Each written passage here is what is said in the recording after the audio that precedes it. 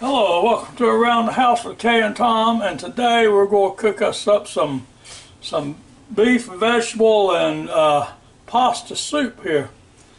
And this this right here is just a little bit less than a pound of uh, short ribs I got from Costco's. Now gonna, I've had this frozen. Going to put it in the uh, Ninja Foodi over here and cook it for a couple minutes and make sure all the little bones and stuff is out of it. We'll use these potatoes. Got four little carrots there. We'll use some celery. We'll use some uh, stewed tomatoes. We'll use uh, LeSueur sweet peas. Got me some Kirkland sweet corn here. My favorite Rotel tomatoes. That uh, tricolor rotini pasta. Of course, I gotta have a little beef broth to start everything off with. So let me get started here. Okay, now first thing we'll do is sort of peel these carrots. Get that all off there. Okay, now we'll do the potatoes the same way. Okay, now I got the potatoes and the uh, carrots peeled. I'm gonna put them in this bowl, this medium mixing bowl right here. I'm going to take them over to the sink and wash them off. And in the meantime, I'm going to go ahead and clean all this mess up right here and get ready to dice up my carrots and potatoes after I wash them. I'll be back. Okay, now I've got everything washed off and cleaned up. We'll take these carrots over here and of course we're going to cut the ends of them off.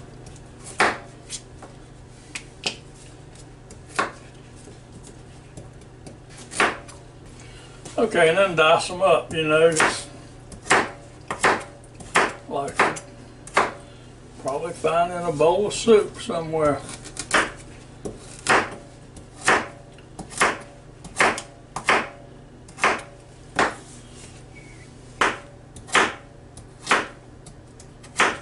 Make sure you hide your fingers from this knife when you do that. if you don't, he might find you and get you. right now we'll do the potatoes. Don't want too small pieces, but we don't want real big chunks either, you know, I mean, you know, about bite size.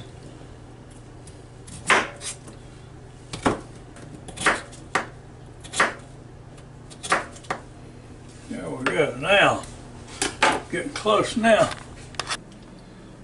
Okay, now I have just a little bit over a cup of Swanson's uh, beef broth here. Put down in the pot. We'll take these hunk of frozen ribs I got here and put down in there. And now next, I'm going to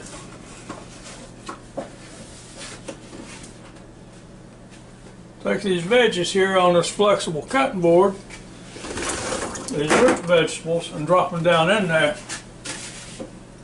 Now, I'm going to uh, get out my handy dandy pressure lid put on here and you know just line your arrows up like this that just set right down there as soon as I did it because I have my arrows lined up. Turn it clockwise till it stops.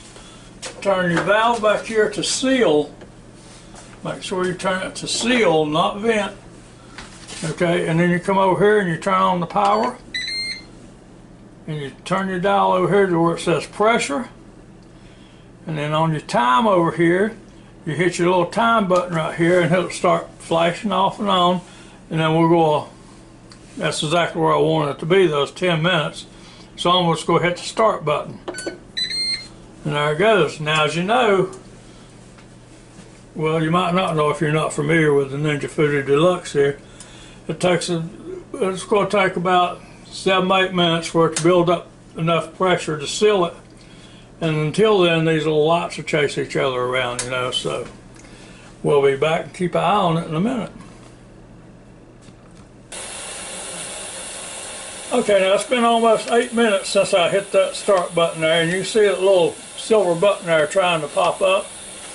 Now I got faith it will pop up in just a second or two.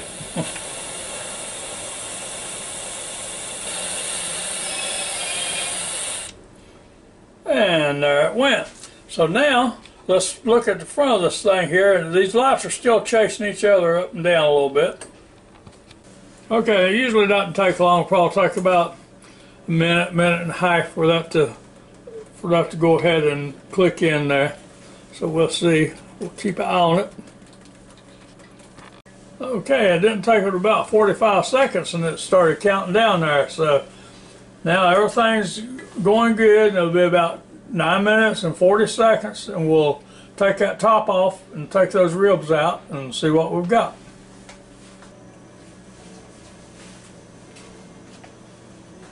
Okay, now we're down to about 15 seconds left on this uh, 10 minute cook here on this uh, beef and potatoes and carrots and fixing to open this lid and see what we got and start adding some good stuff to it. Although the way that beef smells, that's beef smelling good already.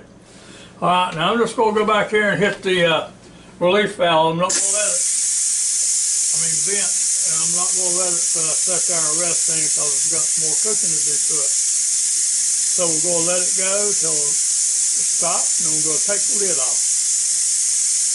Okay, now the pressure's been going off of it for two, two and a half minutes now from the time I hit the vent over here, so should be ready to drop pretty quick.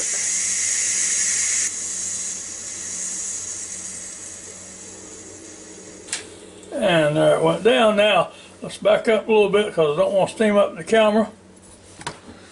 Back, back, back, back, back.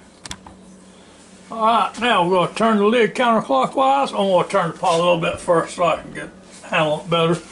Turn the lid counterclockwise. Straight up and turn away from your face. Like that. Come over here and set it in sink. And now, I'll show you real quick what's down here. Now, see all that beef there? Where's my, what I do with my tongs here? See? And that's exactly what I want right there.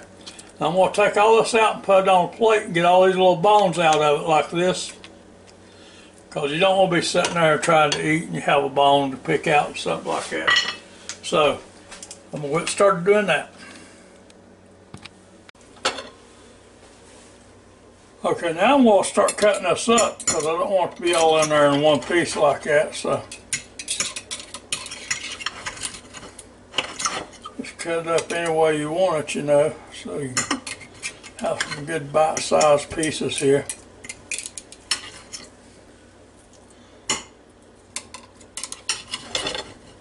Now some people like to make this with ground beef, but I'd rather make it where you you've got some, some little bite, you know, bite-sized pieces of uh, beef. You know, I mean, I know you can clump it up where it where you about got bite-sized pieces with ground beef too, but this is just solid steak here, you know. beef ribs.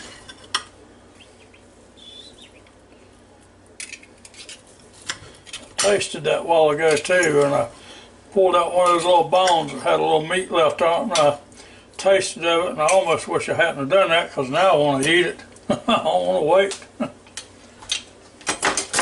Now the next thing I we'll do is put that right back in the pot. And if you're wondering, I didn't take any of those juices out there. Those potatoes and carrots are still down in there. They're just as tender as they can be.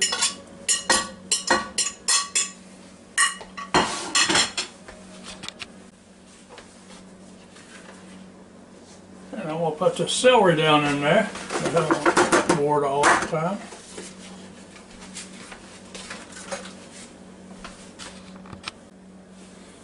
Okay, now we'll turn the power on. We'll put it over here on sear and saute. And we'll leave it on high. And we'll hit the start button. Okay, now we'll start putting the rest of my canned veggies in here. Like the corn. A little sewer peas. I'll start out using diced tomatoes, but I noticed, I mean stewed tomatoes, but I noticed those out of date, so I've got these uh, diced tomatoes here from Kirkland. I'm going to put in there.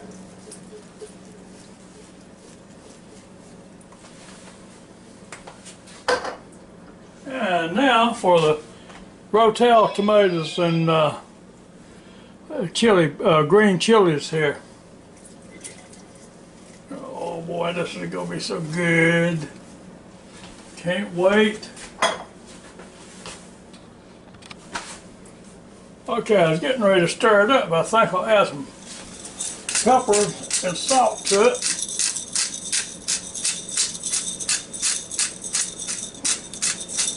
You know, now you do this to your taste, you know, and keep in mind those chilies down there have uh, peppers in them. And you know, all that canned stuff has sodium in it, so. Now let's mix it all up together.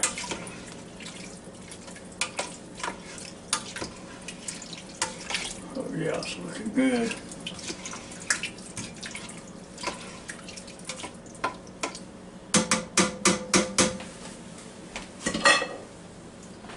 Looking good. Let's see if you can see down in this pot over here.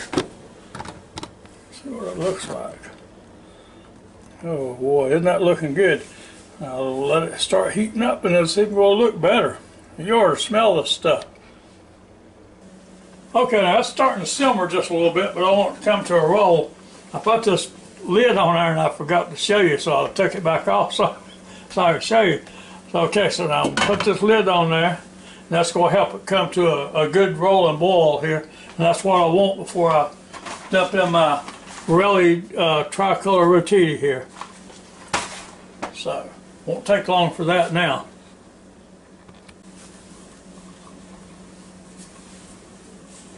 Okay, now just like with any other lid that's got pressure or steam under it, when you pick it up, pick it up and let it drain a little bit and turn it away from your face, you know, and then carry it over to your sink or wherever you got a place to set it down at and set it down. Okay, now I'm gonna give this a quick stir because this is rolling really good now.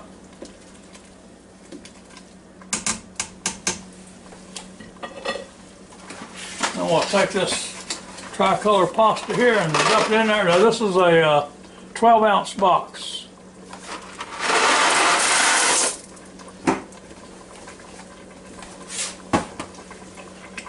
Now see if I can get that all pushed down in there real good.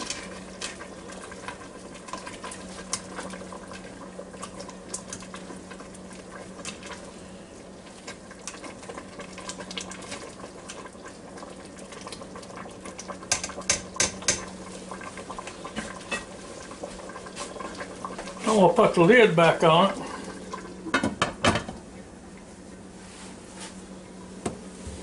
I was in the house doing something a while ago and I, I live in central Florida and I thought, gee, it's cold outside today. It was in, it was in uh, the low 40s last night. Tonight it's going to get down to the low 30s. It's almost going to be freezing.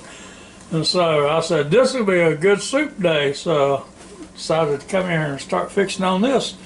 Now I finish this, I'll go outside and cover up my plants so everything don't freeze to death. okay, now keep in mind I didn't add any liquid to this except for that uh, about a cup and a half of beef broth when it first started and then the uh, just the liquid that was in the cans of uh, vegetables opened up. Added no more water. Now if you wanted yours real soupy or real liquidy I guess you can say whatever you want to call it you add more water to it, but there's no use in, I don't like it, but so thick, you know, I mean, so thin. So that's all the water I added. And while I got a chance, if y'all can, join our channel and give us a thumbs up, we sure appreciate it. Thank you very much for all you people that watches our videos. Means a lot to us, and thank you very much.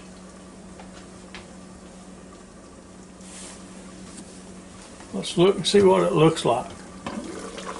Oh boy, it's boiling away. No, no, those noodles ain't ready, but I'm gonna look at one.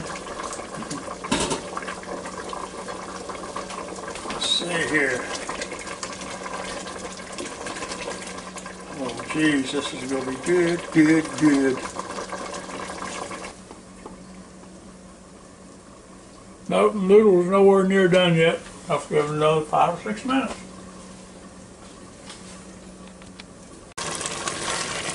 Alright, now these noodles are just as tender as they can be. So I'm going to turn this thing off. Slow down a little bit because they're going to keep on cooking.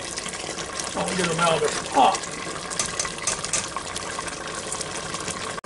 I'll get me a bowl right here that I can sample. Mm-hmm. Oh yeah, that looks good, good.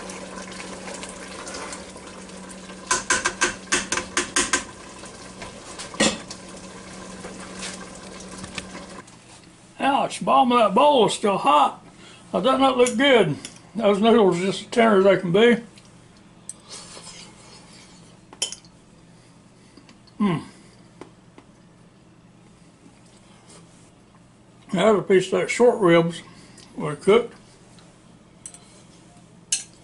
Okay, now there it is. That's about it for this little uh, video here. I hope you enjoyed watching as much as we enjoyed making it for you. And hope you come back and see more of them real soon. And this is another great one pot meal that you know you just sort of dump stuff in there and stir it up and keep on keeping an eye on it. And so until it's done, it's good for the whole family. I'm sure you, especially kids, like this tricolor rotini here. So next time, y'all have a real good and safe day and come back and see us as soon as you can. And if you can, give us a thumbs up and join our channel. A thumbs up. so, till next time, goodbye now.